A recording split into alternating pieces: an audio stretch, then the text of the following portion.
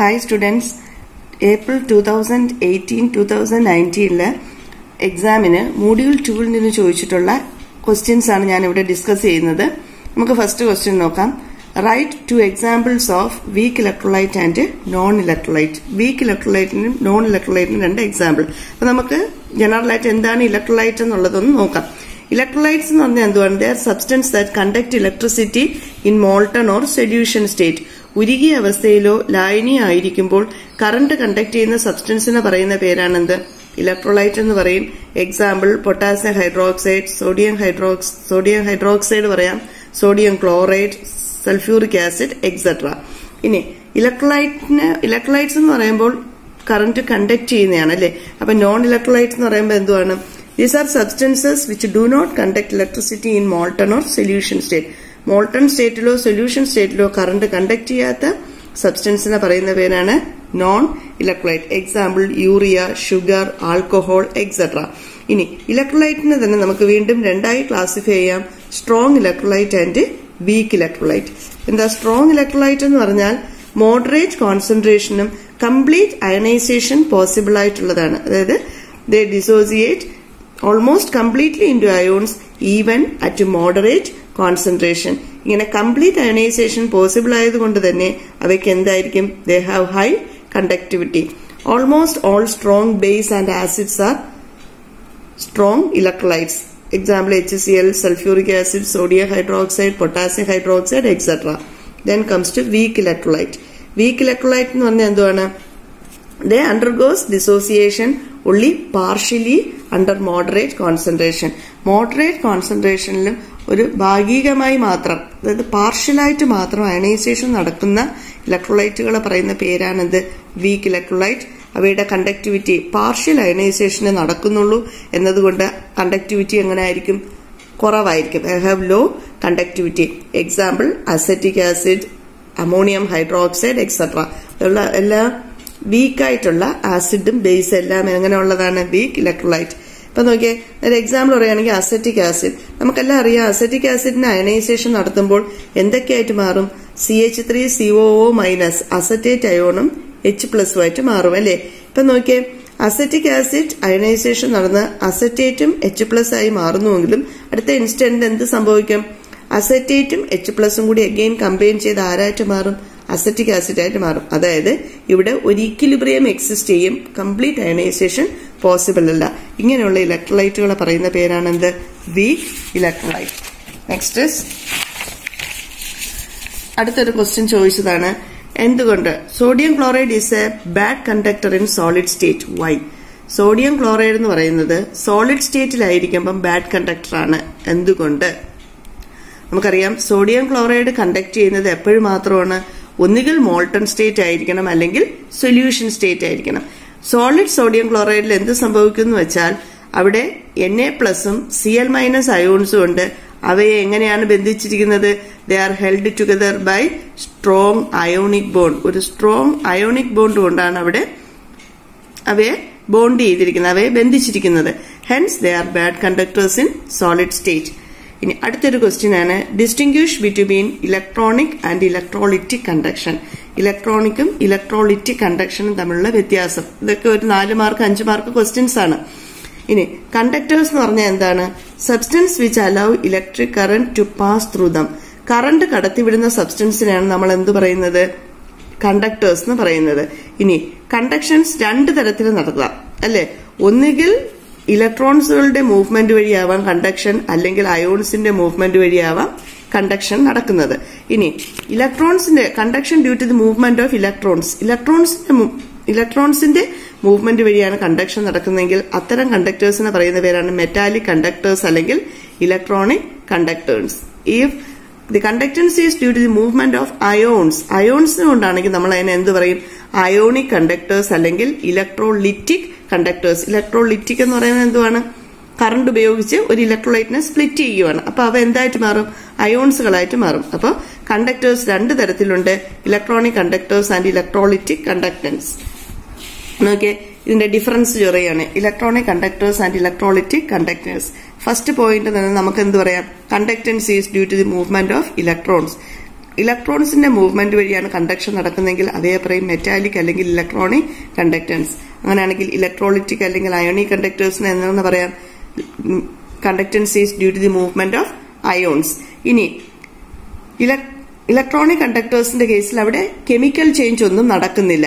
എന്നാൽ ഇലക്ട്രോളിറ്റിക് കണ്ടക്ടേഴ്സിന്റെ കേസിൽ എന്താ സംഭവിക്കുന്നത്? നമ്മൾ കറണ്ട് കൊടുക്കുന്നതിന്റെ ഫലമായിട്ട് അവിടെ എന്താണ്? സോളിഡ് സ്റ്റേറ്റിലുള്ളത് അയോൺസുകളായി മാറുവാണ്. അല്ലെങ്കിൽ അവിടെ ഒരു കെമിക്കൽ ചേഞ്ചിന് വിധേയമാവുകയാണ്. ഇനി ഇലക്ട്രോണിക് കണ്ടക്ടേഴ്സിന്റെ കേസിൽ മാറ്റർ ഒന്നും ട്രാൻസ്ഫർ ചെയ്യുന്നില്ല. എന്നാൽ ഇലക്ട്രോണിക് കണ്ടക്ടേഴ്സിന്റെ കേസിൽ മാറ്റർ എന്തിന്റെ ഫോമിൽ ട്രാൻസ്ഫർ ചെയ്യുന്നുണ്ട്? അയോൺസുകളുടെ ഫോമിൽ ട്രാൻസ്ഫർ ചെയ്യുന്നുണ്ട്. ഇനി രണ്ടും കൂടി കമ്പയർ ചെയ്യുമ്പോൾ നമുക്ക് പറയാം ഇലക്ട്രോണിക് കണ്ടക്ടൻസ് ഓഫ് മെറ്റൽ മെറ്റൽസിലെ ഇലക്ട്രോണിക് കണ്ടക്ടൻസ് ടെമ്പറേച്ചർ കൂടുന്നതിനനുസരിച്ച് കണ്ടക്ടൻസ് കുറയും. വേറെ ഇൻവേഴ്സ്ലി പ്രൊപ്പോർഷണൽ ആണെന്ന് പറയാം. ടെമ്പറേച്ചറും ഇലക്ട്രോണിക് കണ്ടക്ടേഴ്സ് എന്നാൽ ഇലക്ട്രോണിക് കണ്ടക്ടേഴ്സിന്റെ കേസ് പറയുവാണെങ്കിൽ the conductance increases with increase of temperature temperature കൂടുന്നതിനനുസരിച്ച് അയണെ എക്സ്റ്റെന്റ് ഓഫ് അയണൈസേഷൻ കൂടും. അയോൺസുകളുടെ എണ്ണം കൂടുന്നതിനനുസരിച്ച് എന്ത് സംഭവിക്കും? കണ്ടക്ടൻസ് ഇലക്ട്രോളിറ്റിക് കണ്ടക്ടൻസ് കൂടും. ഇനി മെറ്റൽസും അതിന്റെ അലോയ്സ് ഒക്കെ തന്നെ എന്താണ്? ഇലക്ട്രോണിക് കണ്ടക്ടേഴ്സിന് എക്സാമ്പിൾ ആണ്. പിന്നെ അയോണിക് കോമ്പൗണ്ട്സ് മോൾട്ടൺ അല്ലെങ്കിൽ സൊല്യൂഷൻ സ്റ്റേറ്റിലുള്ള അയോണിക് കോമ്പൗണ്ട്സുകൾ എല്ലാം തന്നെ ഇലക്ട്രോളിറ്റിക് കണ്ടക്ടേഴ്സിന് എക്സാമ്പിൾ ആണ്. പിന്നെ അടുത്ത ആണ്. What are fuel cells and write any two advantage fuel cells എന്താണ് എന്നതിന്റെ രണ്ട് അഡ്വാന്റേജ് ചോദിച്ചിട്ടുണ്ട്. നമുക്കറിയാം ഫ്യൂൽ സെൽസ് എല്ലാം തന്നെ ഗാൽവാനിക് സെൽസ് ആണ്. ഗാൽവാനിക് സെൽ എന്ന് പറഞ്ഞാൽ എന്തുവാണ്? ഇലക്ട്രോ കെമിക്കൽ സെൽ അതായത് chemical energy converted to electrical energy അപ്പൊ ഫ്യൂവൽ സെൽ എന്ന് പറഞ്ഞാൽ ഒരു തരത്തിലുള്ള ഗാൽവാനിക് സെല്ലാണ് എന്താണ് അവിടെ നടക്കുന്നത്? In which chemical energy from the combustion of fuel ഇവിടെയാണ് വ്യത്യാസം നടക്കുന്നത്. ഫ്യൂവൽസുകളുടെ കമ്പഷൻ എന്തുവാണ് കമ്പഷൻ എന്ന് പറഞ്ഞാൽ anything that react with oxygen ഓക്സിജനുമായിട്ട് reaction നടക്കുന്നതിനെയാണ് നമ്മൾ എന്ത് പറയുന്നത്? കമ്പഷൻ എന്ന് പറയും. അതിനെ എന്തായിട്ട് മാറ്റുകയാണ് ചെയ്യുന്നത്? ഇലക്ട്രിക്കൽ എനർജിയാക്കി മാറ്റുകയാണ്. അപ്പോൾ ഫ്യുവൽ സെൽസ് എന്ന് പറഞ്ഞാൽ ഗാൽബനിക് സെല്ലാണ് അവിടെ ഫ്യൂൽസിന്റെ കമ്പഷൻ വഴി ഉണ്ടാകുന്ന കെമിക്കൽ എനർജി ഫ്യൂൽസ് ആയ ഹൈഡ്രജൻ കാർബൺ മോണോക്സൈഡ് മീഥെയിൻ ഗ്യാസും ആൾക്കഹോൾ പോലുള്ള ലിക്വിഡിന്റെയൊക്കെ കമ്പഷന്റെ ഫലമായിട്ട് ഉണ്ടാകുന്ന കെമിക്കൽ എനർജിയാണ് എന്തായിട്ട് മാറ്റിക്കൊണ്ടിരിക്കുന്നത്? ഇലക്ട്രിക്കൽ എനർജിയാക്കി മാറ്റിക്കൊണ്ടിരിക്കുന്നത്. അപ്പം ഫ്യൂൽ സെല്ലിന് എന്ത് പറയാം? Sir galvanic cell in which the chemical energy from the combustion of fuels like hydrogen carbon monoxide methane and alcohol can be converted into electrical energy best example നിങ്ങൾക്ക് പഠിക്കാനുള്ളത് hydrogen oxygen fuel cell ഇനി ഈ fuel cells ഉപയോഗിക്കുന്നത് കൊണ്ടുണ്ടാവുന്ന advantage എന്തൊക്കെയാണെന്നുള്ളതാണ്. It convert energy of fuels directly in electric energy ഫ്യൂൽസിന്റെ complete chemical energy എന്താക്കി മാറ്റാൻ കഴിയും? Electrical എനർജിയാക്കി മാറ്റാൻ പറ്റും. പിന്നെ ഫ്യൂൽസ് ആയ ഹൈഡ്രജൻ മീഥെയിൻ കാർബൺ മോണോക്സൈഡ് പോലുള്ള ഫ്യൂൽസിന്റെ ആണ് കമ്പഷൻ വഴി ഉണ്ടാകുന്ന കെമിക്കൽ എനർജി മാറ്റുന്നതുകൊണ്ട് അവിടെ എന്തില്ല? പൊല്യൂഷൻ പ്രോബ്ലംസ് ഒന്നും തന്നെ ഇല്ല. ഇനി ഫ്യൂൽസ് സെൽ എന്ന് പറഞ്ഞാൽ എന്താണ് ലൈറ്റും കോമ്പാക്റ്റുമാണ് എനർജി സപ്ലൈ എന്ന് പറഞ്ഞാൽ കണ്ടിന്യൂസ് ആണ്. ഒരു ഡ്രോപ്പ് ഇല്ലാതെ എനർജി സപ്ലൈ നടത്തും. Next one is distinguish between electrolytic cell and galvanic cell നമ്മൾ പഠിച്ചതാണ് ആദ്യമേ തന്നെ ഇലക്ട്രോ കെമിസ്ട്രിയിൽ എന്താണ് പറയുന്നതെന്ന് പറഞ്ഞു. എനർജി കൺവേർഷനാണ് ഇലക്ട്രിക്കൽ എനർജി കെമിക്കൽ എനർജിയും കെമിക്കൽ എനർജി ഇലക്ട്രിക്കൽ എനർജിയുമായി മാറ്റുന്ന എനർജി കൺവേർഷനാണ് ഇനി ഇവ നടത്തുന്നത് സെപ്പറേറ്റ് ഡിവൈസിലാണ് ഇലക്ട്രിക്കൽ എനർജി കെമിക്കൽ എനർജിയായി മാറ്റി മാറ്റുന്ന ഡിവൈസിനെ പറയുന്ന പേരാണ് ഇലക്ട്രോളിറ്റിക് സെൽ ഇനി കെമിക്കൽ എനർജി ഇലക്ട്രിക്കൽ എനർജിയായി കൺവേർട്ട് ചെയ്യുന്നതിന് ഉപയോഗിക്കുന്ന സെല്ലിന്റെ പേരാണ് electrochemical cell galvanic cell or voltaic cell നമ്മൾ ഫസ്റ്റ് പഠിച്ചിട്ടുള്ളതാണ് ആ ബിഗിനിങ്ങിൽ ഇനി നോക്കിയേ ഇവ തമ്മിലുള്ള ഡിഫറൻസ് ഇതെല്ലാം അഞ്ചു മാർക്ക് ക്വസ്റ്റ്യൻസ് ആണ്. ഇവ തമ്മിലുള്ള ഡിഫറൻസ് ചോദിച്ചിട്ടുണ്ട്. നമുക്കറിയാം ഇലക്ട്രിക്കൽ എനർജി കെമിക്കൽ എനർജി ആയി മാറ്റുമ്പോൾ നമ്മൾ chemical sorry electrical energy consumed ആണ്. നമ്മൾ ഇലക്ട്രിക്കൽ എനർജി കൊടുത്താണ് അവിടെ ഒരു കെമിക്കൽ ചേഞ്ച് വരുത്തുന്നത്. അപ്പൊ എന്ത് പറയാം? ഇലക്ട്രിക്കൽ എനർജി ഈസ് കൺസ്യൂംഡ് എന്നാൽ ഗാൽവനിക് സെൽ അല്ലെങ്കിൽ ഇലക്ട്രോ കെമിക്കൽ സെല്ലിൽ നിന്ന് എന്താണ് ഉണ്ടാവുന്നത്? കെമിക്കൽ റിയാക്ഷൻ നടക്കുന്നതിന്റെ ഫലമായിട്ടാണ് അവിടെ എന്തുണ്ടാവുന്നത്? ഇലക്ട്രിസിറ്റി പ്രൊഡ്യൂസ് ചെയ്യുന്നത്. അപ്പൊ എന്ത് പറയാ? ഇവിടെ ഇലക്ട്രിക്കൽ എനർജി പ്രൊഡ്യൂസ്ഡ് ദെൻ രണ്ടാമത്തത് ഇലക്ട്രിക്കൽ എനർജി കൊടുത്തൊരു കെമിക്കൽ എനർജി ആക്കി മാറ്റുന്നത് കൊണ്ട് അതായത് ഇലക്ട്രിക്കൽ എനർജി കൊടുത്ത് ഒരു കെമിക്കൽ ചേഞ്ച് വരുത്തുന്നതുകൊണ്ട് അത് നോൺ സ്പോണ്ടേനിയസ് ആണ്. കുറച്ച് ടൈം എടുത്താണ് കെമിക്കൽ റിയാക്ഷൻസ് നടത്തുന്നത്. നമ്മുടെ ഇലക്ട്രോ പ്ലേറ്റിങ്ങും ആനഡൈസിംഗ് ഒക്കെ നോക്കി. എന്നാൽ ഗാൽവനിക് സെല്ലിൽ എന്താണ് നടക്കുന്നത്? കെമിക്കൽ റിയാക്ഷന്റെ ഫലമായിട്ടാണ് ഇലക്ട്രിസിറ്റി പ്രൊഡ്യൂസ് ചെയ്യുന്നത്. അത്തരം കേസിൽ റിയാക്ഷൻസ് എങ്ങനെയാണ് സ്പോണ്ടേനിയസ് ആണ് പെട്ടെന്ന് നടക്കുന്നതാണ്. ഇനി ഇലക്ട്രോളിറ്റിക് സെല്ലിന്റെ കേസിൽ എന്താണ്? Two electrodes are dipped in same solution രണ്ട് ഇലക്ട്രോഡുകളെയും ഒറ്റ സൊല്യൂഷനിലാണ് ഡിപ്പ് ചെയ്യുന്നത്. നമ്മുടെ ഇലക്ട്രോ പ്ലേറ്റിങ്ങിനൊക്കെ നോക്കി ഒരു കണ്ടെയ്നറിനകത്താണ് എന്തെടുക്കുന്നത്? കാഥോഡും ആനോഡും. എന്നാൽ ഇലക്ട്രോ കെമിക്കൽ സെല്ലിന്റെ കേസ് പറയുവാണെങ്കിൽ they are taken in two different solutions നമ്മൾ ഇനി അങ്ങോട്ട് ഇലക്ട്രോ കെമിക്കൽ സെല്ല് നോക്കുമ്പോൾ അത് മനസ്സിലാവും. അപ്പോൾ ഇലക്ട്രോളിറ്റിക് സെല്ലിൽ എന്ന് പറയുമ്പോൾ എന്തുവാണ്? The two electrodes are dipped in same solution and in galvanic cell or electrochemical cell the two electrodes are dipped into different solution. ഇനി ഇലക്ട്രോളിറ്റിക് സെല്ലിന്റെ കേസിൽ ആനോഡ് പോസിറ്റീവും കാഥോഡ് നെഗറ്റീവുമായിരിക്കും. എന്നാൽ ഗാൽവാനിക് സെൽ അല്ലെങ്കിൽ ഇലക്ട്രോ കെമിക്കൽ സെല്ലിന്റെ കേസിൽ ആനോഡ് നെഗറ്റീവും കാഥോഡ് പോസിറ്റീവ്. ഇത് അങ്ങോട്ടും ഇങ്ങോട്ടും മാറിപ്പോവാൻ എളുപ്പമായിട്ടുള്ള ഒരു ഇതാണ്. അതുകൊണ്ട് തെറ്റിപ്പോവരുത്. നന്നായിട്ട് ഇതൊന്ന് ശ്രദ്ധിച്ച് പഠിക്കുക. ഇനി അടുത്തത് ചോദിച്ചിട്ടുള്ള ഒരു ക്വസ്റ്റൻ ആണ്. പ്രൈമറി സെല്ലും സെക്കൻഡറി സെല്ലും എന്താണ്? ഓരോ എക്സാമ്പിൾ ഒരു മൂന്ന് മാർക്ക് ക്വസ്റ്റ്യൻ എക്സ്പെക്ട് ചെയ്യാവുന്നതാണ്. ഓക്കെ ഇതെല്ലാം തന്നെ മൂന്നും അഞ്ചും മാർക്കിന്റെ ക്വസ്റ്റ്യൻസ് ആണ്. അത് പ്രൈമറി സെൽ ഒരു പ്രൈമറി സെൽ എന്ന് പറഞ്ഞാൽ എന്തുവാണെന്ന് വെച്ചാൽ ആ സെല്ലിനകത്ത് നടക്കുന്ന റെഡോക്സ് റിയാക്ഷൻസ് ഒരിക്കൽ നടന്നു കഴിഞ്ഞിട്ട് ആ സെല്ല് എന്താവും? ഡെഡ് ആയിട്ട് മാറും. അല്ലെങ്കിൽ നമ്മൾ പറയാം നോൺ റീചാർജബിൾ സെല്ലുകളെയാണ് നമ്മൾ എന്ത് പറയുന്നത്? പ്രൈമറി സെൽ എന്ന് പറയുന്നത്. ഒരിക്കൽ ഉപയോഗിച്ച് പിന്നെ റഡോക്സ് റിയാക്ഷനെ നമുക്ക് ചാർജ് ചെയ്തോ ഒന്നും വീണ്ടും തിരിച്ചെടുക്കാൻ പറ്റാത്തത്. വീണ്ടെടുക്കാൻ പറ്റാത്തത് അല്ലെങ്കിൽ നോൺ റീചാർജബിൾ സെൽസുകളെയാണ് എന്ത് പറയുന്നത്? പ്രൈമറി സെൽ എന്ന് പറയും. Example Daniel cell dry cell. ഇനി സെക്കൻഡറി സെൽ എന്ന് പറഞ്ഞാൽ എന്തുവാണ്? ഒരിക്കൽ കെമിക്കൽ റിയാക്ഷൻ നടന്ന് സെല്ലിന്റെ ചാർജ് പോയാലും നമുക്ക് ആ റിയാക്ഷൻസ് റിവേഴ്സ് ചെയ്യാൻ പറ്റുന്നത്. റീചാർജ് ചെയ്ത് ഉപയോഗിക്കാൻ പറ്റുന്ന സെല്ലുകളെയാണ് എന്ത് പറയുന്നത്? സെക്കൻഡറി സെൽ എന്ന് പറയും. Example lead storage cell nickel cadmium cell അല്ലെങ്കിൽ നിക്കാർഡ് സെൽ എന്നൊക്കെ നിങ്ങൾ പഠിച്ചിട്ടുണ്ട്. അടുത്തത് നമ്മൾ പറഞ്ഞു ഇലക്ട്രോ കെമിക്കൽ സെൽ അല്ലെങ്കിൽ എന്തൊക്കെ പറയുമെന്ന് പറഞ്ഞു? ഗാൽവാനിക് സെൽ അതല്ലെങ്കിൽ ഓൾട്ടായിക് സെൽ എന്നൊക്കെ പറയുന്നതാണ് അടുത്തത്. നമ്മുടെ ഫസ്റ്റ് തന്നെ നമ്മൾ ഇലക്ട്രോളിറ്റിക് സെല്ലിനെ കുറിച്ച് ഡീറ്റെയിൽ ആയിട്ട് പഠിച്ചിരുന്നു അല്ലേ? അപ്പോൾ ഇവിടെ ഇനി അടുത്തത് പഠിക്കാൻ പോണത് ഇലക്ട്രോ കെമിക്കൽ സെല്ലാണ് ഇപ്പൊ നമ്മൾ ഡിഫറൻസ് നോക്കി. അപ്പോൾ പറഞ്ഞതൊക്കെ ശരിയാണോ എന്ന് നോക്കാം. ഇവിടെ എന്താണ് നടക്കുന്നത്? ഇലക്ട്രോ കെമിക്കൽ സെൽ അല്ലെങ്കിൽ galvanic cell or voltaic cell എന്ന് പറയുമ്പോൾ ഇവിടെ എന്താണ് energy conversion chemical energy is converted in electrical energy നമ്മുടെ നല്ലൊരു എക്സാമ്പിൾ ആയിട്ട് പഠിക്കുന്നതാണ് എന്ത്? ഡാനിയൽ സെൽ എന്ന് പറഞ്ഞത്. ഡാനി നോക്കിയ ഒരു ഇലക്ട്രോ കെമിക്കൽ സെൽ എന്ന് പറയുമ്പോൾ ഇവിടെ രണ്ട് ഹാഫ് സെല്ലുകൾ ചേർന്നതാണ്. നമ്മുടെ ഇലക്ട്രോളിറ്റിക് സെല്ലിലെ ഇലക്ട്രോ പ്ലേറ്റിംഗിന്റെയൊക്കെ സമയത്ത് കാഥോഡും ആനോഡും ഒരു സെല്ലിനകത്താണ് അറേഞ്ച് ചെയ്തത് അല്ലെ? എന്നാൽ ഇവിടെ നോക്കിയേ ഇലക്ട്രോ കെമിക്കൽ സെൽ എന്ന് പറയുമ്പോൾ രണ്ട് ഹാഫ് സെല്ലുകൾ ചേർന്നതാണ്. ആദ്യത്തെ ഹാഫ് സെല്ലിൽ എന്താണ്? നമ്മുടെ ഒരു ആനോഡും രണ്ടാമത്തെ ഹാഫ് സെൽ എന്തായിട്ടും ആക്ട് ചെയ്യുന്നു? കാഥോഡുമായിട്ട് ആക്ട് ചെയ്യും. ഫസ്റ്റ് ഹാഫ് സെല്ലായ ആനോഡിൽ എന്താ നടക്കുന്നത്? Zinc dipped in zinc sulphate solution zinc ഇലക്ട്രോഡിനെ zinc sulphate സൊല്യൂഷനിൽ ഡിപ്പ് ചെയ്യും. അതിനെ എന്തായിട്ട് ആക്ട് ചെയ്യും? ആനോഡായിട്ട് ആക്ട് ചെയ്യും. ഇലക്ട്രോ കെമിക്കൽ സെല്ലിന്റെ കേസിൽ ആനോഡിന് എന്ത് ചാർജാണ് നെഗറ്റീവ് ചാർജാണ് എന്നാൽ ഇലക്ട്രോലിറ്റിക് സെല്ലിന്റെ കേസിൽ ആനോഡിന് എന്ത് ചാർജായിരുന്നു പോസിറ്റീവ് ചാർജായിരുന്നു ഇതാണ് മാറിപ്പോകാതെ ശ്രദ്ധിച്ച് പഠിക്കണം. ഇപ്പൊ നോക്കിയാൽ ഇവിടെ ഫസ്റ്റ് ഹാഫ് സെൽ എന്ന് പറയുമ്പോൾ എന്താണ്? Zinc dipped in zinc sulphate solution second half cell എന്ന് പറയുമ്പോൾ എന്തുവാണ്? Copper dipped in copper sulphate solution അത് എന്തായിട്ട് ആക്ട് ചെയ്യും? കാഥോഡായിട്ട് ആക്ട് ചെയ്യും. കാഥോഡിന്റെ സൈൻ എന്താണ്? പോസിറ്റീവ് സൈൻ ആണ്. ഇനി നോക്കിക്കോളൂ. ഈ രണ്ട് ഹാഫ് സെല്ലുകളെയും നമ്മുടെ എക്സ്റ്റേണലായിട്ട് മെറ്റാലിക് വയർ ഉപയോഗിച്ച് ഒരു ഗാൽവനോമീറ്ററിൽ കണക്ട് ചെയ്തിരിക്കും. ഇനി ഈ രണ്ട് ഹാഫ് സെല്ലുകളും തമ്മിലുള്ള റിലേഷൻ ഇന്റേണൽ കണക്ഷൻ എങ്ങനെയാണ്? By using a salt bridge ഇതുപോലെ യു ഷേപ്പിലുള്ള ഒരു ട്യൂബാണ് ഒരു ഹോളോ ട്യൂബിനെയാണ് എന്ത് പറയുന്നത്? സോൾട്ട് ബ്രിഡ്ജ് എന്ന് പറയും. അപ്പോൾ ഈ ഇനിയുള്ള റിയാക്ഷൻ അങ്ങനെ നോക്കാം. ഈ സർക്യൂട്ടിൽ കൂടി കറണ്ട് പാസ് ചെയ്യുമ്പോൾ എന്ത് സംഭവിക്കും? ഇലക്ട്രോൺസ് ഫ്ലോ ചെയ്യും. ഏത്? സിങ്ക് ഇലക്ട്രോഡിൽ നിന്നും കോപ്പർ ഇലക്ട്രോഡിലോട്ട് ഇലക്ട്രോൺ ഫ്ലോ നടക്കും. And reaction take place is taking place എങ്ങനെയാണ് സിങ്ക് എന്തായിട്ട് മാറും? രണ്ട് ഇലക്ട്രോണിനെ വിട്ടുകൊടുത്ത് ഇസഡ് എൻ ടു പ്ലസ് ആയിട്ട് മാറും. അല്ലെങ്കിൽ എന്ത് നടക്കുന്നു എന്ന് പറയാം? ഓക്സിഡേഷൻ നടക്കുന്നുണ്ട്.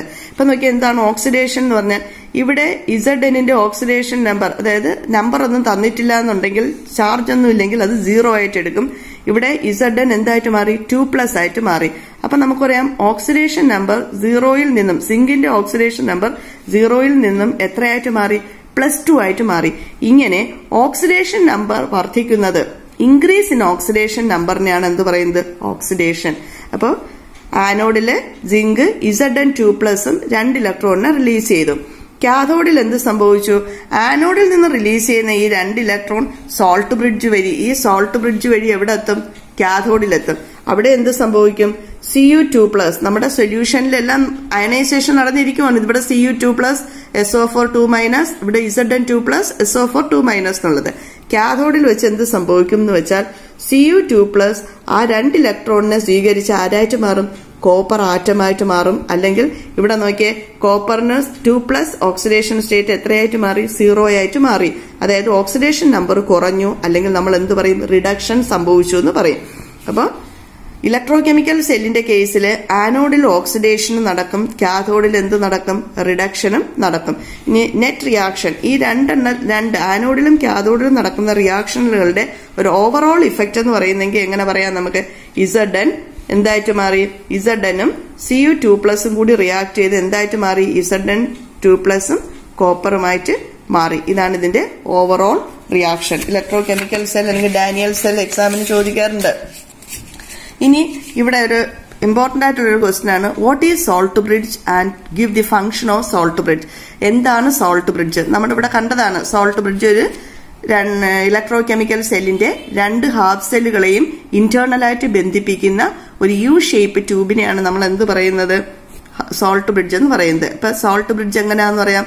Salt bridge is a U shaped glass tube filled with jelly like substance or gelatin agar agar പോലെ ഒരു ലൈക്ക് സബ്സ്റ്റൻസോ ജെലാറ്റിനോ ഒപ്പം ഇനേർട്ട് ഇലക്ട്രോലൈറ്റ് ആയ പൊട്ടാസ്യം ക്ലോറൈഡോ പൊട്ടാസ്യം നൈട്രേറ്റോ പൊട്ടാസ്യം സൾഫേറ്റോ ആണ് ഇതിനകത്ത് ഫില്ല് ചെയ്തിരിക്കുന്നത് സോൾട്ട് ബ്രിഡ്ജ് അപ്പൊ സോൾട്ട് ബ്രിഡ്ജ് എന്ന് പറഞ്ഞാൽ ഒരു hollow U ട്യൂബാണ് filled with jelly like substance like agar agar along with inert electrolyte like potassium chloride potassium nitrate, potassium sulphate etcetera ഇനി ഇതിന്റെ ഫംഗ്ഷൻ എന്താണെന്ന് വെച്ചാൽ സോൾട്ട് ബ്രിഡ്ജിന്റെ ഫംഗ്ഷൻ എന്തുവാണെന്ന് വെച്ചാൽ ഈ രണ്ട് ഹാഫ് സെല്ലുകളുടെയും ഇലക്ട്രിക്കൽ ന്യൂട്രാലിറ്റി മെയിന്റെയിൻ ചെയ്യുക. രണ്ട് ഹാഫ് സെല്ലുകളുടെയും ഇലക്ട്രോലൈറ്റുകളുടെ ഇലക്ട്രിക്കൽ ന്യൂട്രാലിറ്റി മെയിന്റെയിൻ ചെയ്യണം എന്നുള്ളൊരു ഫംഗ്ഷനാണ് സോൾട്ട് ബ്രിഡ്ജിനുള്ളത് അതുപോലെ തന്നെയാണ് കറണ്ട് ഇന്റേണലായിട്ട് ഈ രണ്ട് ഹാഫ് സെല്ലിലെയും കറണ്ട് ഇന്റേണൽ കറണ്ട് പാസേജിനെ അലോ ചെയ്യും അനുവദിക്കും. പിന്നെ ഒരു ഹാഫ് സെല്ലിലെയും മറ്റേ ഹാഫ് സെല്ലുകളുടെയും ഇലക്ട്രോ ഇലക്ട്രോലൈറ്റുകളുടെ ഇന്റർമിക്സിംഗ് പ്രിവെന്റ് ചെയ്യും. അപ്പൊ zinc dipped in zinc sulphate സൊല്യൂഷനും copper dipped in copper sulphate solution ഒരിക്കലും സോൾട്ട് ബ്രിഡ്ജ് സിങ്ക് സൾഫേറ്റും കോപ്പർ സൾഫേറ്റും കൂടി മിക്സ് ആവാൻ അനുവദിക്കത്തില്ല. And it does not take part in chemical reaction നമുക്കറിയാം സോൾട്ട് ബ്രിഡ്ജിനകത്ത് ഇലക്ട്രോലൈറ്റുകളുണ്ട് പൊട്ടാസ്യം ക്ലോറൈഡ് പൊട്ടാസ്യം നൈട്രേറ്റ് ഒക്കെ ഒരിക്കലും സോൾട്ട് ബ്രിഡ്ജിനകത്തുള്ള ഈ ഇലക്ട്രോലൈറ്റുകൾ അതിലെന്ത് ചെയ്യുന്നില്ല? റിയാക്ഷനിൽ പങ്കെടുക്കത്തില്ല. ഇനി ഞാൻ നേരത്തെ പറയാൻ വിട്ടുപോയതാണ് ഒരു സെൽ റെപ്രസെന്റേഷൻ എങ്ങനെയാണെന്നുള്ളതാണ്. ഇപ്പൊ നോക്കിയാൽ നമ്മുടെ ഇവിടെ തന്നെ ആനോഡും കാഥോഡും ഉണ്ട് അല്ലേ? ഒരു സെൽ റെപ്രസെന്റേഷൻ എഴുതുമ്പോൾ ഒരു ഇലക്ട്രോ കെമിക്കൽ സെല്ലിന്റെ സെൽ റെപ്രസെന്റേഷൻ എഴുതുമ്പോൾ ആദ്യം ആനോഡിൽ നടക്കുന്ന റിയാക്ഷൻ എഴുതുക. എന്നിട്ട് ഒരു ഡബിൾ സ്ലാഷ് ഇതിനെന്ത് കാണിക്കും? സോൾട്ട് ബ്രിഡ്ജിനെ കാണിക്കാനാണ്. ഒരു ഇലക്ട്രോ കെമിക്കൽ സെല്ലിൽ ഉണ്ടായിരിക്കുന്ന ഒരു ഇതാണ് എന്ത്? സോൾട്ട് ബ്രിഡ്ജ് ഇന്റേണൽ കണക്ഷൻ ആണ് സോൾട്ട് ബ്രിഡ് എന്നിട്ട് കാഥോഡിൽ നടക്കുന്നത്. ഇലക്ട്രോ കെമിക്കൽ സെല്ലിന്റെ ആനോഡിൽ നടക്കുന്നത് എന്തായിരുന്നു? Z N Z N two plus ആയി മാറുന്നു. അതാണിത് ആനോഡിൽ നടക്കുന്ന റിയാക്ഷൻ ഇത് സോൾട്ട് ബ്രിഡ്ജിന്റെ പ്രസൻസ് കാഥോഡിൽ എന്ത് നടക്കും? സി യു ടു പ്ലസ് രണ്ട് ഇലക്ട്രോണിനെ സ്വീകരിച്ച് സി യു ആയിട്ട് മാറി. അപ്പൊ C U two plus copper two plus copper ആറ്റമായി മാറി. ഇങ്ങനെ ഒരു ഇത് എഴുതുന്നതിനെയാണ് എന്ത് പറഞ്ഞ റെപ്രസെന്റേഷനെയാണ് ആ സെല്ലിന്റെ സെൽ റെപ്രസെന്റേഷൻ അല്ലെങ്കിൽ സെൽ നൊട്ടേഷൻ എന്നൊക്കെ പറയുന്നത്. ഇനി അടുത്തത്. അടുത്തൊന്നാണ് E M F of a cell അല്ലെങ്കിൽ കെമിക്കൽ പൊട്ടൻഷ്യൽ നമുക്കറിയാം ഒരു ഇലക്ട്രോഡിനെ അതിന്റെ തന്നെ സൊല്യൂഷനിൽ ഡിപ്പ് ചെയ്യുമ്പോൾ രണ്ട് പോസിബിലിറ്റീസ് ഉണ്ടാവും. എങ്ങനെ? ആ ഇലക്ട്രോഡിലുള്ള മെറ്റൽ മെറ്റൽ അയോണായിട്ട് മാറി എന്ത് ചെയ്യും? ഇലക്ട്രോൺസുകളുടെ മെറ്റൽ അയോണായിട്ട് സൊല്യൂഷനിൽ ഇങ്ങനെ പോകും. മെറ്റൽ എം എൻ പ്ലസ് ആയിട്ട് മാറും. എന്നിട്ട് ഇവിടെ ആരെ ലിവ് ചെയ്യും? ഇലക്ട്രോണുകളെ ലിവ് ചെയ്യും. അപ്പൊ നോക്കിയേ ഒരു മെറ്റൽ അതിന്റെ സൊല്യൂഷനിൽ ഡിപ്പ് ചെയ്യുമ്പോൾ രണ്ട് പോസിബിലിറ്റീസ് ഉണ്ട്. അതായത് ഒന്നുകിൽ മെറ്റൽ മെറ്റൽ അയോണായി മാറും. അല്ലെങ്കിൽ മെറ്റൽ അയോൺ ഇലക്ട്രോണിനെ അക്സെപ്റ്റ് ചെയ്ത് എന്തായിട്ട് മാറും? മെറ്റലായിട്ട് മാറും.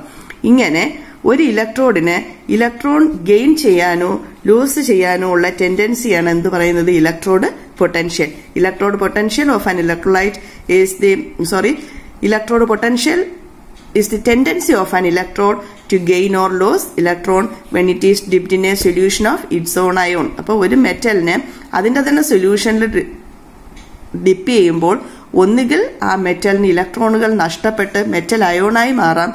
അല്ലെങ്കിൽ മെറ്റൽ അയോണിന് ഇലക്ട്രോണുകൾ സ്വീകരിച്ച് എന്തായിട്ട് മാറാനുള്ള ടെൻഡൻസി ഉണ്ട്? മെറ്റലായിട്ട് മാറാനുള്ള ടെൻഡൻസിയാണ് ഈ ടെൻഡൻസിയാണ് എന്ത് പറയുന്നത്? ഇലക്ട്രോഡ് പൊട്ടൻഷ്യൽ ഇനി രണ്ട് തരത്തിലുള്ള രണ്ട് ഹാഫ് സെൽ ഉണ്ടല്ലേ ഇലക്ട്രോ കെമിക്കൽ സെല്ലിൽ അതിൽ ഒന്നിൽ എന്ത് നടക്കും? ആനോഡിൽ ഓക്സിഡേഷൻ റിയാക്ഷൻ നടക്കും. കാഥോഡിൽ റിഡക്ഷൻ നടക്കും. നമ്മൾ നേരത്തെ നോക്കിയതാണ്.